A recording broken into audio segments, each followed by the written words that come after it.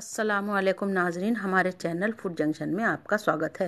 अगर आपको हमारी रेसिपीज़ पसंद आएँ तो हमारे चैनल को सब्सक्राइब करें और सारी नोटिफिकेशंस आपको मिल पाएँ, उसके लिए बेल आइकन को दबाना ना भूलें। आज हम बनाएँगे आलू की चाट। इसे बनाने के लिए मैंने लिए हैं चार बड़े आलू, इस तरह से टुकड़ों में कटे हुए। इन्हें मैंने पानी में भिगोकर रखा हुआ है। नमक स्वाद अनुसार डेढ़ टीस्पून चाट मसाला आधा टीस्पून भुना हुआ ज़ीरा, एक चौथाई टीस्पून लाल मिर्च पाउडर, एक चौथाई टीस्पून आमचूर पाउडर, यानी खटाई,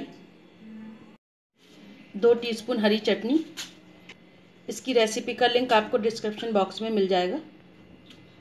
दो टेबल स्पून दही वाली चटनी। इसे मैंने हरी चटनी और दही मिलाकर तैयार किया है।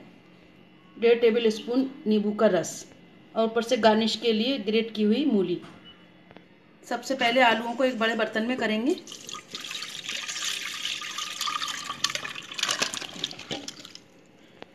अब इसे अच्छे से उबाल आने तक पकाएँगे तेज़ गैस पर। ये देखिए, उबाल आ गया है। अब इसे एक बार चलाएँगे। और इसे दो से तीन मिनट और पकाएँगे।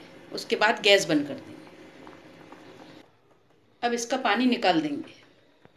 ये देखिए, अब हम इन्हें फ्राई करेंगे। उसके लिए मैंने यहाँ कढ़ाई में तेल गरम कर लिया है। अब आलूओं को इसमें डालेंगे।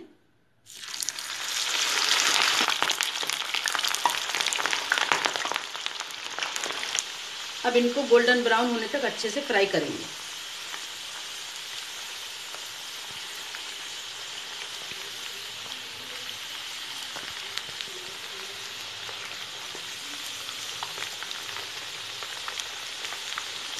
ये फ्राई हो गए हैं। अब इनको एक प्लेट में निकाल लेंगे।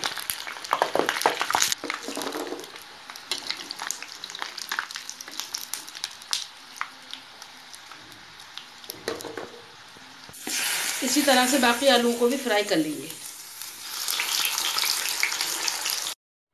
ये देखिए, अब इन्हें एक गहरे बर्तन में करेंगे। अब इसमें डालेंगे नमक। चाट मसाला भुना हुआ ज़ीरा,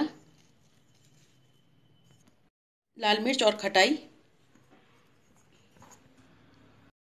हरी चटनी,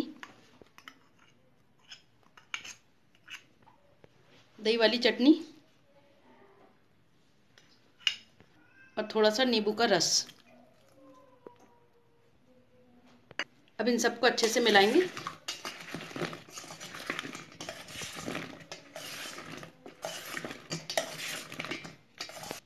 ये अच्छे से मिल गई है।